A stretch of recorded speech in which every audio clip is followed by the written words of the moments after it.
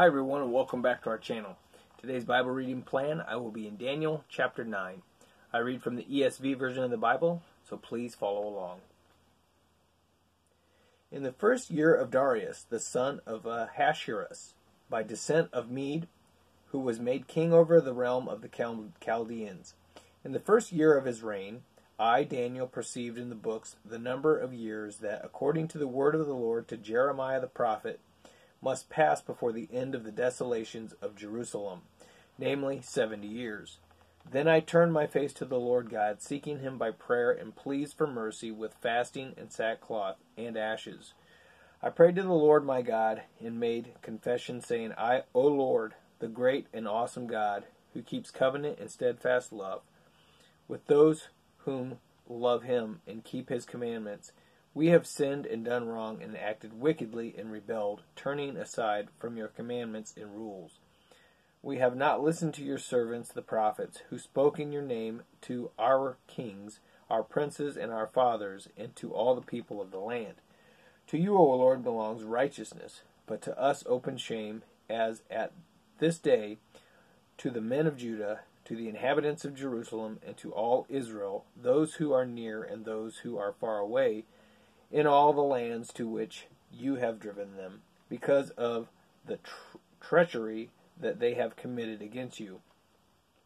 To us, O Lord, belongs open shame to our kings, to our princes, and to our fathers, because we have sinned against you. To the Lord our God belong mercy and forgiveness, for we have rebelled against you, and have not obeyed the voice of the Lord our God, by walking in his laws, which he set before us by his servants the prophets. All Israel has transgressed your law and turned aside, refusing to obey your voice. And the curse and oath that are written in the law of Moses, the servant of God, have been poured out upon us, because we have sinned against him. He has confirmed his words, which he spoke against us and against our rulers who ruled us, by bringing us, bringing upon us a great calamity. For under the whole heaven there has not been done anything like what has been done against Jerusalem. As it is written in the law of Moses, all this calamity has come upon us, yet we have not entreated the favor of the Lord our God, turning from our iniquities and gaining insight by your truth. Therefore the Lord has kept ready in the calamity and has brought it upon us. For the Lord our God is righteous in all the works that he has done, and we have not obeyed his voice. And now, O Lord our God, who brought your people out of the land of Egypt with a mighty hand, and have made a name for yourself, as at this day we have sinned, we have done wickedly. O Lord, according to all your righteous acts, let your anger and your wrath turn away from your city Jerusalem, your holy hill, because of our sins and for the iniquities of our fathers. Jerusalem and your people have become a byword among all who are around us. Now therefore, O our God, Listen to the prayer of your servant and to his pleas for mercy, and for your own sake, O Lord. Make your face to shine upon your sanctuary, which is desolate, O my God. Incline your ear and hear. Open your eyes and see our desolations, and the city that is called by your name. For we do not present our pleas before you because of our righteousness, but because of your great mercy. O Lord, hear, O Lord, forgive. O Lord, pay attention and act Delay not, for your own sake, for my, O my God, because your city and your people are called by your name. While I was speaking and praying, confessing my sin and the sin of my people, Israel, and presenting my plea before the Lord my God for the holy hill of my God, while I was speaking in prayer, the man Gabriel, whom I had seen in the vision at the first, came to me in swift flight at the time of the evening sacrifice.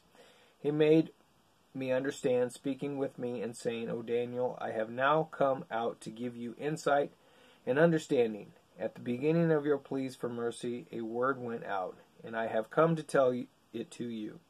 For you are greatly loved, therefore consider the word and understand the vision.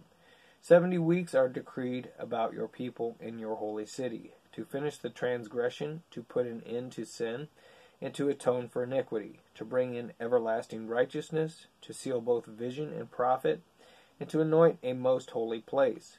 Know therefore and understand that from the going out of the word to restore and rebuild and build Jerusalem. To the coming of an anointed one, a prince, there shall be seven weeks. Then for sixty two weeks it shall be built again, with squares and moat, but in a troubled time. And after the sixty two weeks, an anointed one shall be cut off, and shall have nothing. And the people of the prince who is to come shall destroy the city and the sanctuary.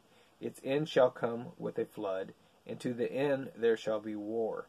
Desolations are decreed, and he shall make a strong covenant with many for one week. And for half of the week he shall put an end to sacrifice and offering. And on the wing of abomination shall come one who makes desolate, until the decree decreed end is poured out on the desolator. That concludes our reading in Daniel chapter 9. Please join me tomorrow when I will open up in Daniel 10. Have a great day.